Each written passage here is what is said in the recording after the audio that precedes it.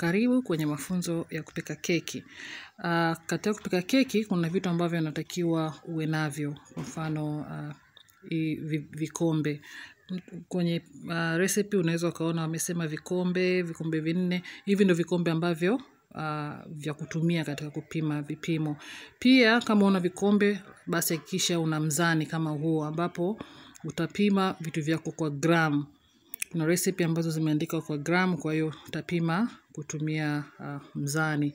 Pia kitu kingine ni huu mchapio ambao unatakiwa na wenyewe nao. Kama huu unaweza ukatumia mwiko au pia unaweza ukatumia hii hand mixer na yenyewe inatumika sana kwenye upishi wa keki.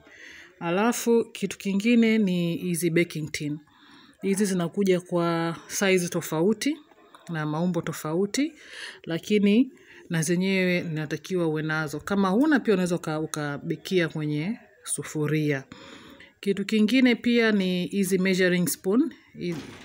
Hizi zinasaidia pia katika kupima uh, ingredients kabla ya, ku, ya kupika, ya kutengeneza keki. Kwa hiyo tunaposema vijiko vinne, vijiko vitano, basi unaangalia ni nusu kijiko, ni kijiko kizima, ndio hivi vinavyotumika.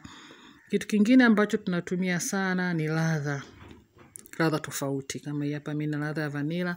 Kwa hiyo hizi uh, zinapatikana kwenye maduka ya kawaida pia na, na zenyewe hakikisha basi unazo.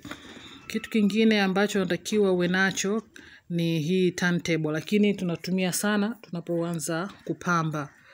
Hii pia utaipata kwenye maduka vifaa vya keki.